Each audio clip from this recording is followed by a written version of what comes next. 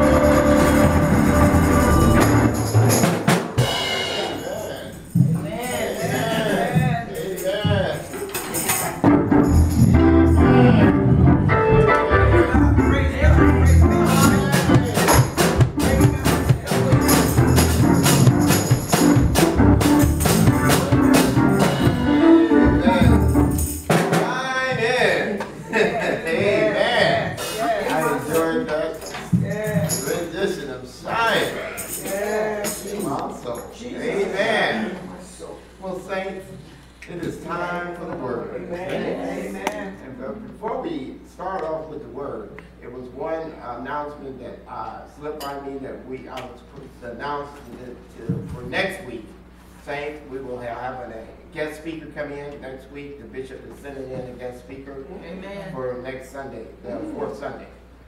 Um, he called me, informed me that, that we will be having a guest. Uh, I don't know the couple names yet.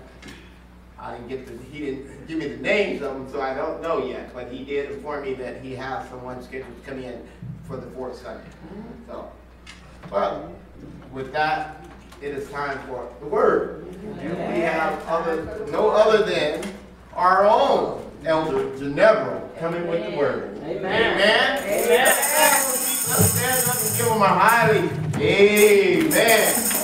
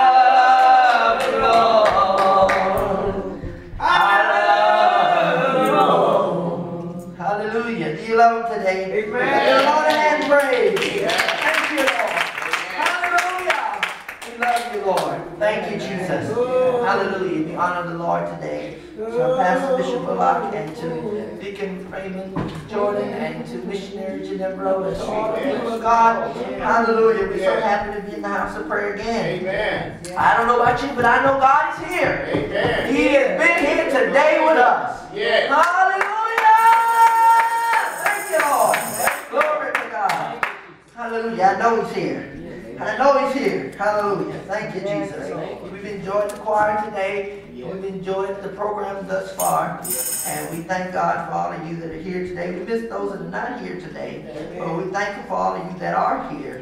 Amen. Amen. Uh, we're going to continue to be praying for Mother Parker and and God will continue to strengthen her Yes. Yes. touch her body and heal her. Yes. Because God said, I am the Lord thy God that healeth thee. Yeah, right. He was Amen. wounded for our transgressions. He was bruised for our iniquity. Yeah. The chastisement of peace was upon him, and with his stripes we are. We are here. Uh, it's not could be, but we are. It is affirmative, we are healed. And I thank the Lord for his healing today. Yes. Hallelujah. Let's go to the word of the Lord, St. John Amen. chapter 6. Chapter 6. Hallelujah. Yes. Thank you, Lord. And we're going to read verses 29 through 35. Amen. Amen. Chapter six, twenty-nine Through through 35. thirty-five. Amen. You have it, say amen. Amen. Let's read it. Uh, St. John chapter 6. We're going to wait. We want everyone to get it, I guess. Amen. we want everyone to get it. Yeah, man. The word is important. gonna eat the word today. Right. Verse 29. 29 through 35. Let's read it. Jesus Jesus answered and said unto them, Uh-huh. This is the word of God, that ye believe on him whom he has sent. Read. They said therefore unto him, What sign showeth thou then, that we may see and believe thee? What dost thou work? Our father did eat man in the desert, and it is written, He gave them bread from heaven to eat. He gave them bread from Uh-huh. Then said Jesus unto them, Yeah. Then said Jesus unto them, uh-huh. Verily, verily, I say unto you, Verily, verily, surely I say unto you, Moses gave you not that bread from heaven, uh-huh. but my Father gives you the true bread from heaven. Uh-huh. Read. For the bread of God is he which cometh down from heaven, The bread of God is he that cometh down from heaven. and giveth life unto the world. Uh-huh. Then said they unto him, Then said they unto him, Lord, Lord, evermore, yes, give us this bread. give us what? This bread. This bread, uh-huh. And Jesus said unto them, Woo! What I is am the bread. I am the bread of life. He that cometh to me He that cometh to me, shall never hunger, woo! and he that believeth on me shall never thirst. Amen. Hallelujah. He said, I am the bread of life. Now, if I don't get anything over you today, I want to ask you that question. Lord, give me that bread. Lord, give me that bread. And you need to understand that uh, bread is something is very important to our body. You know, uh, when Amen. people have not been able to eat and been able to take of the, what they need to take of in the consumption of food, a lot of times bread can, is used for people who have not been eating. Amen. And so bread has many nourishments in it. It is not just an ordinary thing, but it's one of the best creations that we have in this world. Mm-hmm. Uh, ask an Italian, they'll tell you that they always have bread at the table. Uh, bread is something that's very important. French bread, there's wheat bread, and all different kind of breads. Uh, uh, even though, even in, in most cultures, there's some form of starch that is eaten. Uh, in Chinese culture, they eat rice. Yes. And, uh, Can I get a witness here now? Uh, in in uh, Japanese culture, a lot of them eat rice and noodles. They call them udon noodles. And then in our culture, we eat cornbread. Yeah, we eat cornbread. And, and, sometimes we like it sweet, and sometimes we don't want it sweet. Depends what we eat. Uh, hot water cornbread. We like hot water cornbread. Since Gaines is known for hot water cornbread. So it's the bread that we eat, so that we have things that we like to eat on. And so bread is something that even though you don't have nothing else, you get your piece of bread and you'll be all right. There's enough nourishment in that bread, you can eat bread and you will live for a few days. And a lot of times that they give bread to people even in the military. And it's supposed to help them go on a little longer. Bread, I've heard people say, all I need is just a little bread, a cracker, and I'll be all right. And so sometimes we need to understand is that we may not be always to get the bread that we like to eat. Uh-huh. We may not be always to eat what we want to eat, uh, but as long as we can get that piece of bread, we'll be all right. All right? And the bread something that can be used in so many ways to help us through our day-to-day lifestyle. And so the Bible said that it had just taken place. Jesus had just taken two fishes and five loaves and fed 5,000. All right. Now, that to me is, is miraculous in itself. That he took the bread and he took it of this young boy's lunch, and they said, Well, we have all these people. You don't preach a good message. And you know, when you go to a service, and like we had last Sunday, we had a good service, and we wanted to eat after. We was hungry. Yeah. Every one of you going to leave here and go eat something. Amen. Am I right about it? Amen. If it ain't nothing but a piece of candy, you're going to eat something till dinner time. Yeah. You're going to get something. And so it's the same way as he had preached this long message, and so they were like, woo, I'm hungry. And Jesus' bro must have been hungry too, because he said, we can't send these folks hungry away. We got to make sure we give them something to eat. Yeah. And the disciples were like, well, look, Jesus, we poor. We ain't got no money. And there ain't no way. We fishing. We a fisherman, but we ain't got no fish. So what are we going to do? He said, well, find out and see who got something out here in the open. And he took the young lad's uh, five loaves of barley loaf and he took the two fishes and the Bible said that he blessed it and he broke it. And as he broke it, it never ran out. Amen. It never ran out. He was able to feed 5,000. And, and, and even though, they, could you imagine two fishes? Now, it was a young boy, so I know that the fishes were not as long as this. Come on, man. By the way. It wasn't a whale. It wasn't, it wasn't, it wasn't a, a big monkey fish. It wasn't a catfish, big catfish. I've had to clean big catfish. Uh, Mr. Gaines went out and caught, was that a 40 pound fish? And they brought it to me, it was so big, it was in a chest. I couldn't even get it out myself. I had to dump it out because it was so big. And I couldn't barely cut it. I tore up three knives trying to cut it with that fish. I had to put out my electric saw, and start sawing at it. But boy, when it got done, it sure was good. And what I'm trying to tell you is, is that this fish that they had was a little boy. It was a little lad. And the Bible uses the terminology lad to reference someone who's under the age of 12. So a 12 year old can't eat that much. So I'm still trying to understand why he had five loaves of barley. He probably could only eat a half of one. And maybe a piece of fish. But he had enough that he was able to give to Jesus, and Jesus blessed it. Don't you know when God gives us something that it'll never run out? The unconditional love that He's given us never runs out. That unspeakable joy never runs out. The peace of God that's in us never runs out. And so He passed it among them and He said, Look, y'all.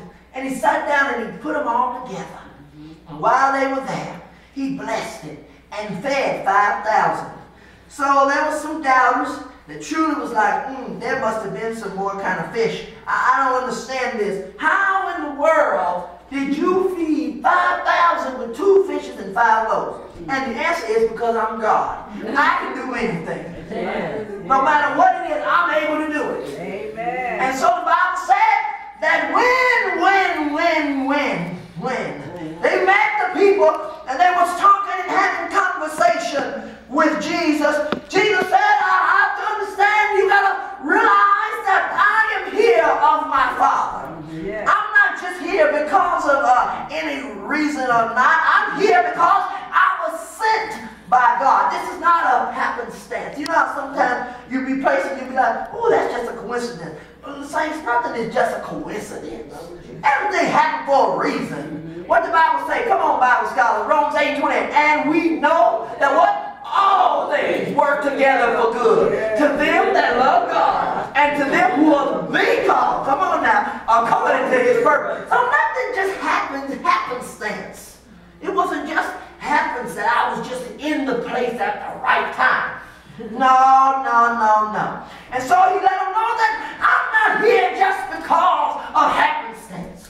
I have really come to bring you something. And what I came to bring you is something that you can be able to eat of. So he said, The work of God that ye believe on me, whom ye have sent. And so they say, Well, we understand the law.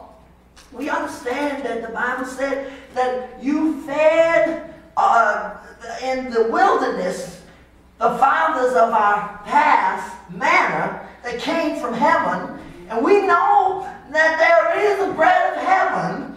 And so we, we, we understand that you can feed anybody. But he said, yeah, Moses gave you manna from heaven. But my Father the true bread from heaven. My Father giveth you the true bread that I give unto you. For the bread of God is he which cometh down from heaven and giveth life unto the world. And so they was wondering, well, look, if I would have heard somebody say this to me, I probably would have said, Lord, give me the bread. I want to take some of this bread. And so what did they say? They said, Lord, give us this breath. I recognize that this is very similar to what took place in John chapter 4 when the woman who was at the well and she wanted uh, some water and she was withdrawing from the well and Jesus came to her and he saw that she was drawing water. He said, give me a drink. And so she said, Well, look here, I can't give you anything because I, you are a Jew and I'm a Samaritan and we have no dealing with one another. And Jesus said, Well, if you really knew who I was, uh, if you really know the power that I have, you would be asking me for a drink. And so it's the same analogy here where the people of God realize that there is a bread that needs to be given. And it's not something that you can get at St. Anthony's or St. Francis standing outside. It's not something that you can buy in the grocery store when you go to Safeway. I'm a big fan of that Safeway walnut bread. I love that walnut bread. It lasts me, uh, y'all, a loaf of bread lasts me two months. I keep it in the refrigerator. And I know that some of you that may have certain breads that you like, but I, I want you to know today I'm not talking about that kind of bread that can be eaten like that or can be purchased with money. But our bread that came down from heaven was purchased by his blood. And his blood is what cleanses us and washes us clean. And I bet you some of you today really want to taste of this bread. Uh, yes, the table is spread and the feast of the Lord is going on, but it's up for you to eat of the bread. Uh, you cannot eat of the bread and be raggedy. You got to be blameless in love. Uh, God wants you to come to Him as you are. I heard uh, Tamela Mann says, "Take me to the King. I have don't have much to bring." You got to understand that if you're going to be of the kingdom of God and you're going to be the son of God and you're going to be what God wants you to be. You got to clean yourself of your unwicked ways. You have to clean yourself of the ways of this world that are not of God. And so he lets them know that I got a bread that I'm going to give you, but this bread is not going to rain down from heaven as manna, but this bread will come through me because I am the living bread. Yes. I remember when I was a young child, they used to sing a song that said, Jesus said, I am the bread. Yes. And the congregation would say, I am the bread. Amen. And they would say, I'm the living bread. And the congregation would say, what? I am the bread. Come on, church, help me out here. And they say, you eat this bread, you'll never die. Then they were saying, I am the bread. And that was the things that we were singing, and we were singing with an understanding. And when I was coming up, I didn't understand always what it meant, To, but surely now I understand what the bread is. Yes. I understand that the bread is not something that I can purchase with money. Uh, I realize that coming to church is not going to get me the bread. Uh, oh, I realize singing in the choir is not going to get me the bread. Uh, I, I love to play the organ in the piano, but that's not going to give me the bread. And I don't care how much money I lay on the table, it's not going to give me the bread. I don't care how many people you feed on the homeless people, it's not going to give you the bread. Oh, it doesn't really you do. Uh, yeah, the only way you can get the bread is you have to come through the bread giver. Yeah. And the bread giver is Jesus. Therefore, he's baking bread right now. Yeah fixing it up and he's doing all of the process that needs to be done. And sometimes we have to understand that we have to be molded and made so we can be able to take of the bread. So this bread is something that we need to ask God for. The only way we ask God for this bread, we got to get down on our knees and call on the name of Jesus. Because I heard the Bible let us know that he said, I'm the living bread. Yes. I am the bread I of life. He that cometh to me yeah. shall never hunger. I don't know about that because sometimes I, I do get hungry. Yes, I like certain foods. I like to eat chitlins, candy yams, and greens, and cornbread. Amen. But sometimes that's not going to feed my spirit man. Amen. That's not going to quench the thirsting on the inside.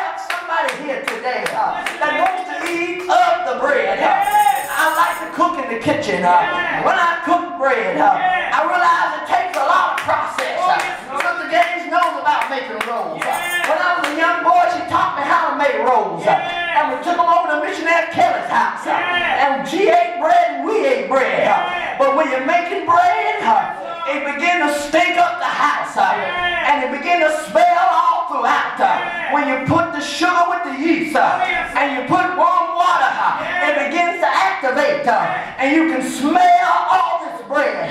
and they put the flour in the bread.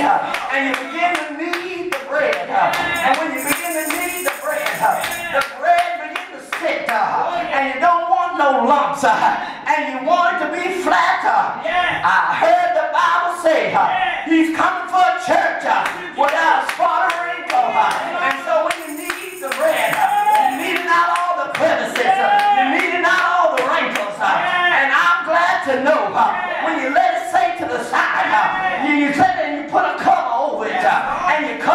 and you let it sit for a while.